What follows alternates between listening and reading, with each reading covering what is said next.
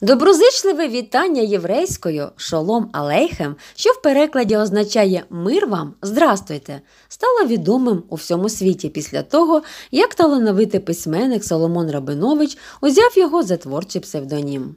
Це прибране ім'я дуже личило Соломону Наумовичу, адже він був доброю відкритою людиною, усмішка якої випромінювала тепло і щирість. Відповідним було і творче гасло митця писати правду з глибини душі, кров'ю серця, але для радості. Соломон Рабинович народився 2 березня 1859 року в українському місті Переяславі, нині Переяслав Хмельницький, у багатодітній єврейській сім'ї. Батько його був дрібним підприємцем. Дитинство Соломона минуло в містечку Воронькові неподалік від Переяслава. У ті роки він захоплювався легендами і переказами про Мазепу, Богдана Хмельницького та інших народних героїв. І романтичний фольклор, і мальовнича природа рідного краю залишили в душі письменника глибокий слід, що відобразилося в його творчості. У 13 років Соломон втратив матір. Друга батькова дружина мала сварливу вдачу і не шкодувала дошкульного слівця для нових родичів. Їй, проте ж, майбутній класик єврейської літератури був зобов'язаний своїм першим професійним досвідом. Усі лайливі слова, почуті від мачехи, він ретельно занотовував у алфавітному порядку. За традицією, Шалом Алейхем відвідував єврейську початкову релігійну школу, а згодом вступив до Переславського повітового училища. Здобувати загальну освіту хлопцеві було нелегко, адже в училищі викладали російською, а в родині розмовляли ідишем. Проте він виявив неабияку наполегливість і закінчив навчання з відзнакою. Змалку Соломон вирізнявся чудовою пам'яттю, допитливістю, веселою вдачею і талантом пересмішника. У 15-річному віці, прочитавши Робінзона Крузо Дефо, він написав власну версію роману рідною мовою і вирішив будь-що стати літератором. У 17 років юнак почав заробляти на життя як репетитор з російської мови. Учителювання допомогло Шолом Алейхому знайти любов між молодим наставником і його ученицею, донькою багатого підприємця Ольгою Лоєвою, спалахнуло світле почуття. Подолавши спротив батька, за кілька років Ольга стала дружиною письменника і народила йому шістьох дітей. Чуйний, справедливий, турботливий Соломон Наумович був справжнім янголом-охоронцем для своєї родини, яку жартома називав республікою. Наприкінці 1870-х років розпочинається письменницька діяльність Шолома Лейхама. Одним з його літературних учителів можна вважати Тараса Шевченка. Коли я писав свої вірші, розповідав Соломон Наумович, я вдень з вогнем шукав кобзаря, цю пісню пісень Шевченка і не міг знайти. І я готовий був віддати що завгодно і скільки завгодно. І тепер я бачу, що не помилився б, якби сплатив за найвищою ціною за одну тільки Катерину. Як і Шевченка, Шолом Алейхем став засновником національної літератури свого народу. Тривалий час вважалося, що ідиш розмовна мова простих євреїв, призначений суто для повсякденного вжитку, а отже, негідний красного письменства. І церковну і світську літературу видавали івритом, високою давньоєврейською мовою. Шолом Алейхам зламав цю традицію. Від 1883 року він почав писати переважно ідишем, усіляко сприяючи його визнанню.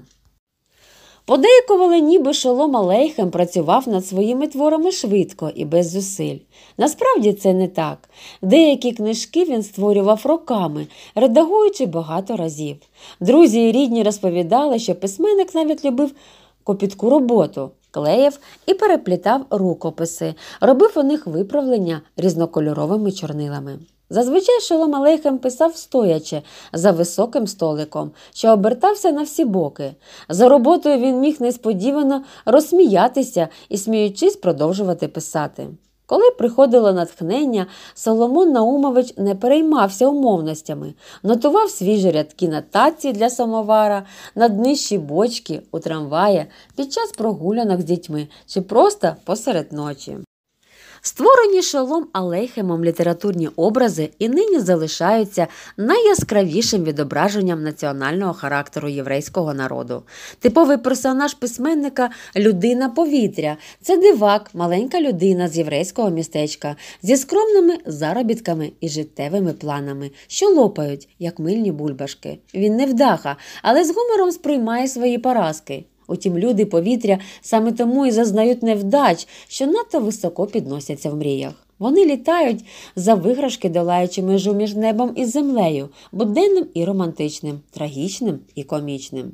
Такою людиною повітря був і сам Шолом Алейхем, трохи дивакуватий, безмежно добрий. Він любив усе маленьке, маленьких дітей, маленьких тварин, маленькі огірки і помідори, маленьке письмове приладдя.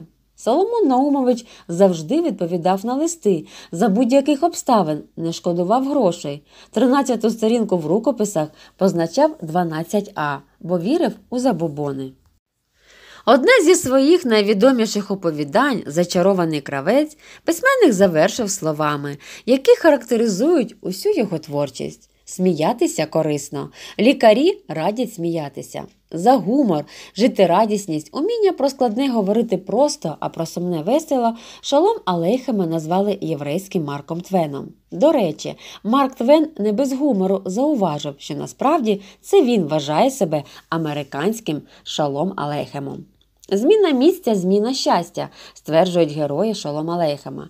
Шукати кращої долі на чужині довелося і самому письменнику. У 1905 році, після хвилі єврейських погромів, він виїхав з Києва, де мешкав майже 15 років. Надалі Соломон Наумович жив у Львові, відвідав Женеву, Лондон, Варшаву, Вільно, Берлін та інші міста світу, де виступав перед своїми читачами. На той час він був уже письменником зі світовим ім'ям. У 1915 році митець оселився у Нью-Йорку. Саме за кордоном Шолом Алейхем завершив свої найвідоміші твори. Над повістю пісня пісень Шолом Алейхем почав працювати у 1909 році. Назву твору дала одноіменна книга старого заповіту, приписувана царю Соломону.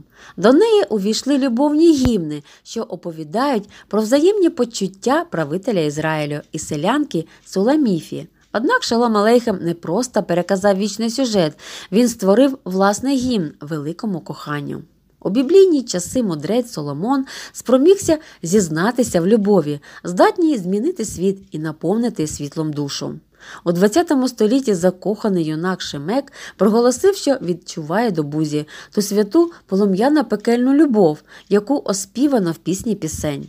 Любов понад усе стверджують і Соломонові гімни, і повість єврейського письменника.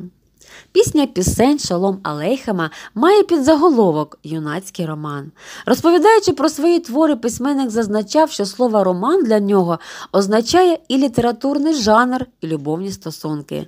Таке сприйняття якнайкраще втілилося в пісні пісень, змальовуючи кохання від його зародження в часи безтурботних дитячих ігор до сумного фіналу в дорослому житті, автор ніби пише роман про роман.